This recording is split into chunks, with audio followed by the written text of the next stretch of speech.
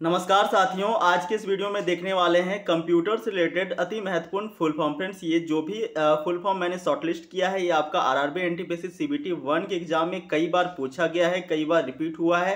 और फ्रेंड्स आपका CBT two के एग्ज़ाम के अंदर भी इसके रिपीट होने की प्रबल संभावना बनती है। इनमें से फ्रेंड्स पहला नंबर यदि क्वेश्चन आप देख रहे होंगे यूएसबी का full form uniform serial brush है, जो कि आपका लेवल सिक्स के अंदर भी पूछा गया था। तो चलिए फ्रेंड्स देख लेते हैं महत्वपूर्ण फुल फॉर्म फ्रेंड्स इसके अलावा मैं आपके लिए एक और कंप्यूटर के वीडियो लाऊँगा जिसमें महत्वपूर्ण प्रश्नों का संग्रह होगा और वो आपके लिए महत्वपूर्ण होगा। तो देख सकते हैं फ्रेंड्स पहला फुल फॉर्म आपके लिए है यूएसबी का, जो कि आपका लेवल सिक्स के एग्ज़ाम में आ चुका है। तो एक बार फिर से मैं आपको रिकॉल करवा दूँ यूनिवर्सल सीरियल बस ठीक है? यूएसबी का फुल फॉर्म हो जाएगा यूनिवर्सल सीरियल बस वहीं यूआरएल का हो जाएगा यूनिफॉर्म रिसोर्स लोकेटर ठीक है?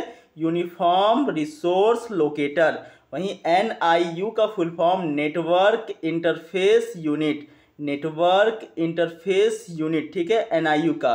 वहीं आई एस पी की बात करें तो इंटरनेट सर्विस प्रोवाइडर आईएसपी का full form internet service provider हो जाएगा। वहीं फ्रेंड्स सीएलआई की बात करें तो सीएलआई का आपका फुल फॉर्म जो है, वो कमांड लाइन इंटरफेस हो जाएगा, ठीक है?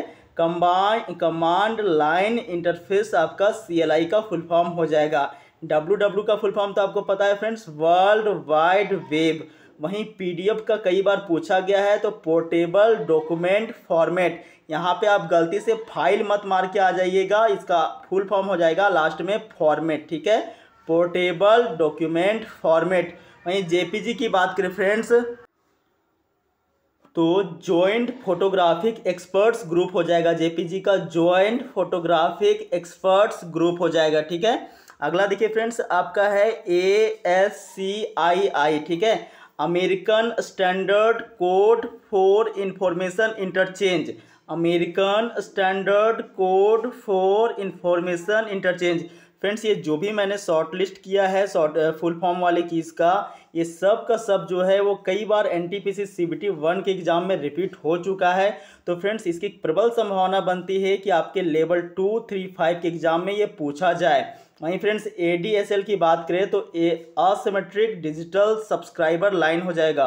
एसिमेट्रिक डिजिटल सब्सक्राइबर लाइन हो जाएगा। मैं एक बार फिर से आपको रिकॉल करवा देता हूँ फ्रेंड्स इस बार नीचे से रिकॉल कर लेते हैं।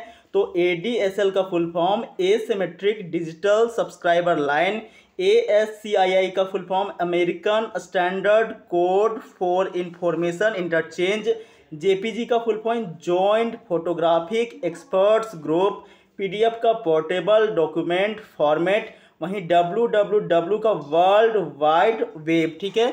और ऊपर से देख लेते हैं फ्रेंड्स, यहाँ पे यहाँ पे सी एल आई का full form, command line interface ISP का इंटरनेट सर्विस प्रोवाइडर एनआईयू का नेटवर्क इंटरफेस यूनिट यूआरएल का यूनिफॉर्म रिसोर्स लोकेटर यूएसबी का यूनिवर्सल सीरियल बस ठीक है?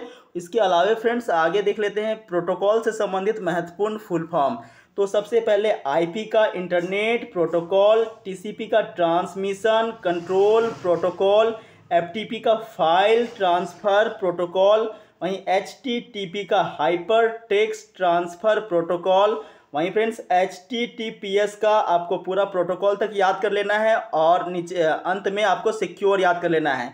कभी कभी फ्रेंड्स, प्रश्न में आपको ये भी पूछ देगा कि लास्ट में जो एस शब्द है, उसका फुल मतलब क्या होता है? तो आपको याद रखना होगा कि एस का मतलब होता है सिक्योर ठीक है? आईपीपी का full form internet printing protocol वहीं फ्रेंड्स डब्ल्यू का full form wireless application protocol आगे देख लेते हैं फ्रेंड्स पी पी पी का full form point to point protocol एक बार मैं नीचे से आपको रिकॉल करवा देता हूँ फ्रेंड्स पी पी पी का full form point to point protocol W A P का wireless application protocol I P P का इंटरनेट प्रिंटिंग प्रोटोकॉल एस का तो hyper text transfer protocol secure यदि इसमें एस का मतलब पूछ ले तो आपको आंसर करना होगा सिक्योर एच का हाइपर टेक्स्ट ट्रांसफ़र प्रोटोकॉल वहीं फ्रेंड्स एफ़ का फ़ाइल ट्रांसफ़र प्रोटोकॉल वहीं फ्रेंड्स टी सी पी का ट्रांसमिशन कंट्रोल प्रोटोकॉल हो जाएगा। आई पी का इंटरनेट प्रोटोकॉल हो जाएगा। आगे देख लेते हैं फ्रेंड्स आगे है आपका प्रो, प्रोग्रामिंग लैंग्वेज से संबंधित फुल फॉर्म तो आपको कम से कम इसमें तीन याद कर लेना है। आ, कुछ और होंगे फ्रेंड्स टोटल आपका हाँ पाँच होगा तो पाँचों आपको याद कर लेना है।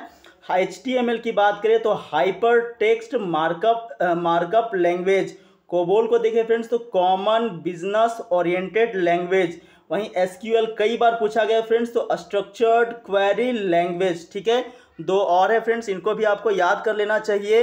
एक आपका बेसिक और एक फोर्ट्रॉन तो बेसिक का, देखिए फ्रेंड्स तो beginners all purpose symbolic instruction code वहीं फोर्ट्रॉन की बात करें तो फॉर्मूला ट्रांसलेशन एक बार नीचे से रिकॉल कर लेते हैं फ्रेंड्स फोर्ट्रॉन की बात करें तो फॉर्मूला ट्रांसलेशन बेसिक का beginners all purpose symbolic instruction code वहीं फ्रेंड्स एसक्यूएल को देखिए तो एसक्यूएल का हो जाएगा आपका स्ट्रक्चर्ड क्वेरी लैंग्वेज कोबोल का कॉमन बिज़नेस ओरिएंटेड लैंग्वेज वहीं एचटीएमएल का हाइपर टेक्स्ट मार्कअप लैंग्वेज तो फ्रेंड्स आपको वीडियो कैसा लगा? कमेंट सेक्शन में ज़रूर बताएँ। मैं जल्द ही एक वीडियो आपका कंप्यूटर का लाने वाला हूँ। तब तक के लिए नमस्कार।